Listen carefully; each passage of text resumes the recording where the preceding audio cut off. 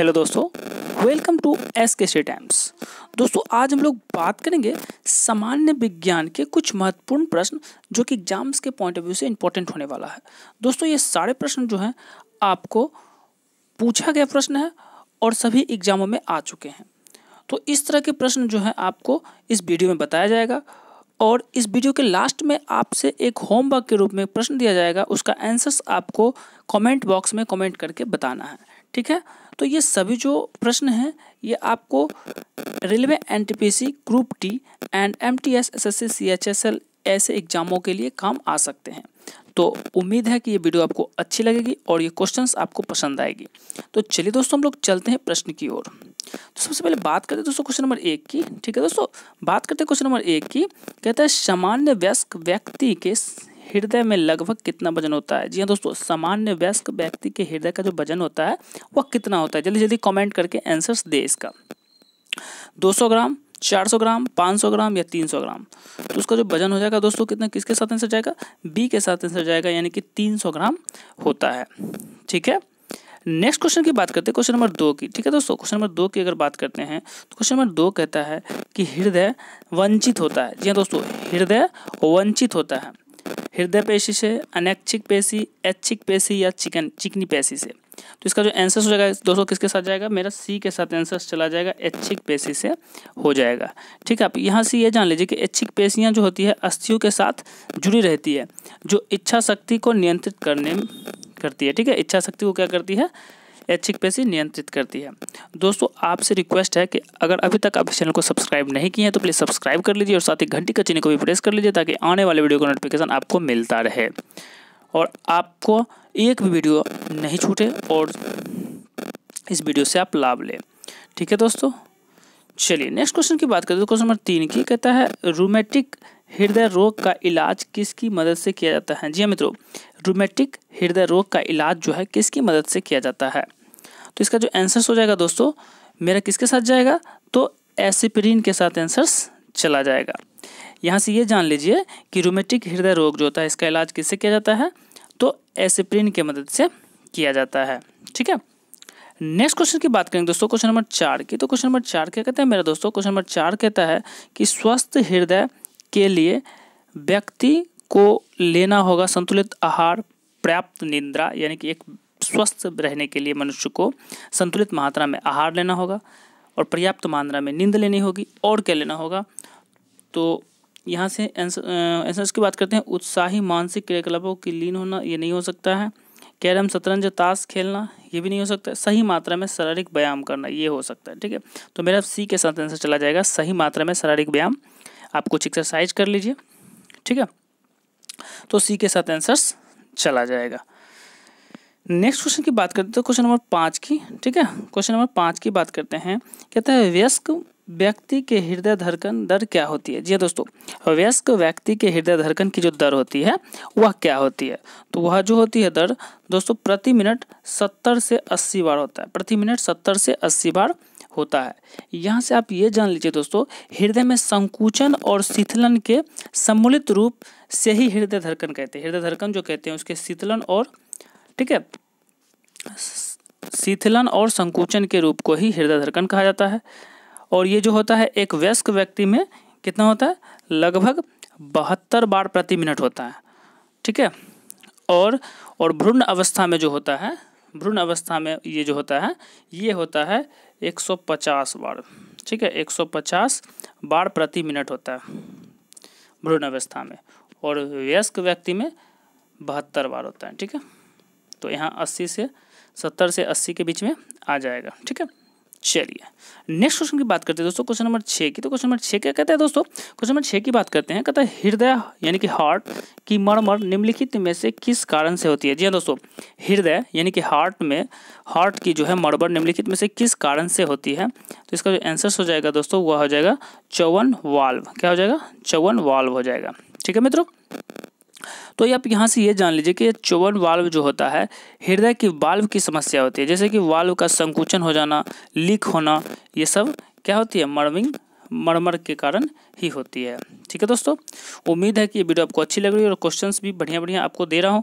तो आप अगर इस चैनल पर नए हैं तो सब्सक्राइब कर लीजिए। ठीक है, चलिए, कहते हैं दिल की फुसफुसाहट, यानी कि मरमर से क्या पता चलता है? जी हाँ दोस्तों, बहुत ही अच्छी क्वेश्चंस दिल की फुसफुसाहट, यानी कि मरमर से क्या पता चलता है? तो यहाँ से जो पता चलता है दोस्तों, दोषपूर्ण कपाट, यानी कि बाल्व का पता चलता है। ऑक्सीजन की कमी, दिल का विस्थापन, मांसपेशियों, ये सब नहीं होगा। क्या हो जाएगा? दोषपूर्ण कपाट, यानी कि बाल्व का पता चलता है। ठीक है मित्रों? यहाँ से ये जान लीजिए, ये जो बाल्ब दोषपूर्ण कपाट होता है, इसको किससे मापा जाता है? तो स्टेथोस्कोप यानी कि आला जो आप देखे होंगे डॉक्टर लोग लगाते हैं, ऐसे तो स्कोप से मापा जाता है, ठीक है? इसी को मापा जाता है। नेक्स्ट क्वेश्चन की बात करते हैं तो क्वेश्चन नंबर आठ की, ठीक है दोस्तों? क्वेश्चन नंबर आठ की कहते हैं, हृदय का काम क्या है? जी हाँ दोस्तों, हृदय का जो काम है मेरा, वह क्या है? तो हृदय का जो काम है दोस्तों, वह है उत्तकों को ऑक्सीजन पहुंचाना, उत्तकों में कार्बन डाइऑक्साइड ले जाना, अपशिष्ट द्रवों का उत्सर्जन करना, या रुधिर को शरीर से विभिन्न अंगों में पंप करना। तो हृदय का काम क्या होता है? तो ये हो जाएगा आंसर इसका डी के साथ चला जाएगा। रुधिर को शरीर के विभिन्न अंगों में पंप करना। ठीक है दोस्तों? उम्मीद है कि आपको अच्छी लग रही होगी वीडियो। आप यहाँ से ये जान लीजिए, जब रुधिर की अगर बात आई है तो रुधिर जो होता है, रक्त परिसंचरण की जो खोज किया था, ये क्या किसने किया था? तो विलियम हार्वे ने किया था और कब किया था? तो 1628 ईस्वी में किया था रक्त परिसंचरण की खोज विलियम हार्वे ने। ठीक है दोस्तों? चलिए नेक्स्ट क्वेश्चन की बात करते हैं क्वेश्चन नंबर नौ की। ठीक है? क्वेश्चन नंबर नौ की अगर बात करते हैं दोस्तों क्वेश्चन नंबर नौ क्या कहता है हम लोगों का?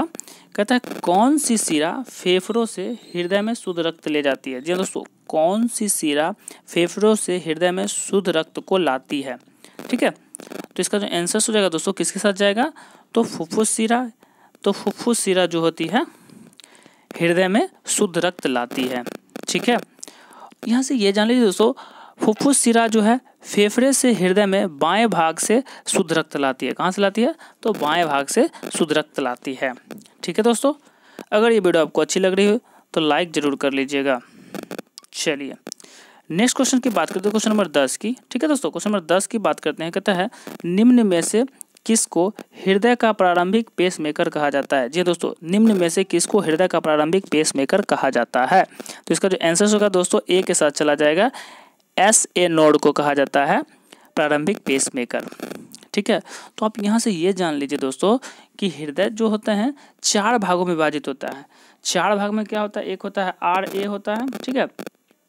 एक होता है एल ए होता है, फिर आर भी होता है और एल भी होता है, ठीक है? चार भाग में बटा होता है।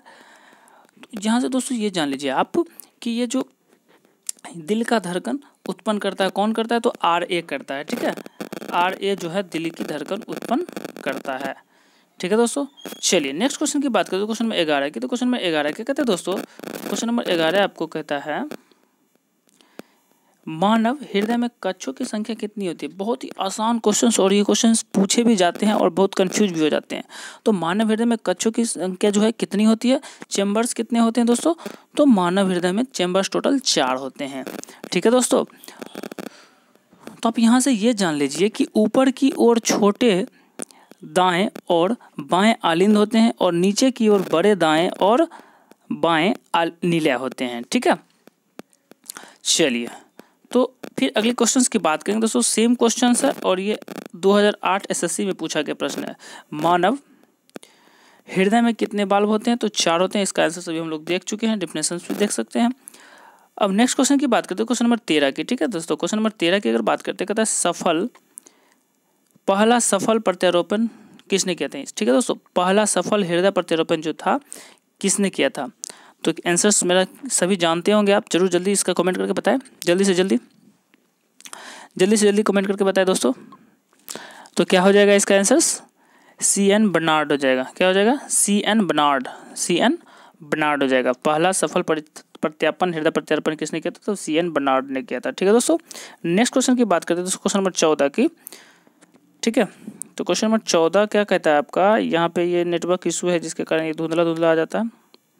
चलिए तो क्वेश्चन नंबर चौदह आपका कहते हैं, दोस्तों, कि ईसीजी e किसकी गतिविधियों को दर्शाता है? जी हाँ दोस्तों ईसीजी e जो है, किसकी गतिविधियों को दर्शाता है? तो इसका जो आंसर हो जाएगा, दोस्तों, मेरा बी के साथ चला जाएगा, हृदय की गतिविधियों को दर्शाता है ईसीजी e ईसीजी होता क्या है, दोस्तों? इलेक्ट्रोकार्डियोग्राम एक प्रकार का क्या है? चिकित्सा परीक्षण परीक्षण है, जो हृदय की गतिविधियों को दर्शाता है। ठीक है, दोस्तों? नेक्स्ट क्वेश्चन की बात करें दोस्तों क्वेश्चन नंबर पंद्रह की। और साथ ही लास्ट क्वेश्चन होगा। मानवों का, ठीक है दोस्तों? मानवों का एक मिनट में लगभग कितनी बार हृदय स्पंदन होता है? जी हाँ दोस्तों, वही क्वेश्चंस बार बार रिपीटेड हो रहा है। तो कितना होता है? बहत्तर बार जो होता है, मानवों का एक मिनट में लगभग कितनी बार हृदय स्पंदन होता है? तो बहत्तर बार। इससे पहले भी क्वेश्चन ये आई है। और भ्रूण अवस्था में कितना होता है? तो एक सौ पचास बार होता है। ये भी याद रखना है आपको। इस तरह की क्वेश्चन भी पूछ दिया जाता है। ठीक है? नेक्स्ट क्वेश्चन की बात करें, दोस्तों होमवर्क के रूप में आपको ये क्वेश्चन दिया जा रहा है और अगले वीडियो में आप इस, इसका जो कमेंट है, इसमें आप बताएँ और अगले वीडियो में मैं इसका आंसर्स बता दूँगा। तो होमवर्क के रूप में आप यहाँ से देख लीजिए, हृदय की धड़कने में उत्तेजित हृदय की धड़कन को उत्तेजित करने वाले हार्मोन्स का नाम बताएँ। तो आप उत्तर जो है कमेंट बॉक्स में देख सकते हैं, दे सकते हैं, ठीक है? तो उम्मीद है कि ये वीडियो आपको अच्छी लगी होगी, पसंद आई होगी, ठीक है? तो आप इसे लाइक कर ले और अभी तक इस चैनल को सब्सक्राइब नहीं किया तो प्लीज़ सब्सक्राइब कर लीजिए और साथ ही घंटी का चिन्ह का भी प्रेस कर लीजिए ताकि आने वाले वीडियो नोटिफिकेशन आपको मिलता रहे। तो मिलते हैं हम लोग नए वीडियो में नई जोश, नई एनर्जी नई मॉर्निंग के साथ। तब तक के लिए नमस्कार, अपने आसपास स्वच्छता बनाए रखें। धन्यवाद।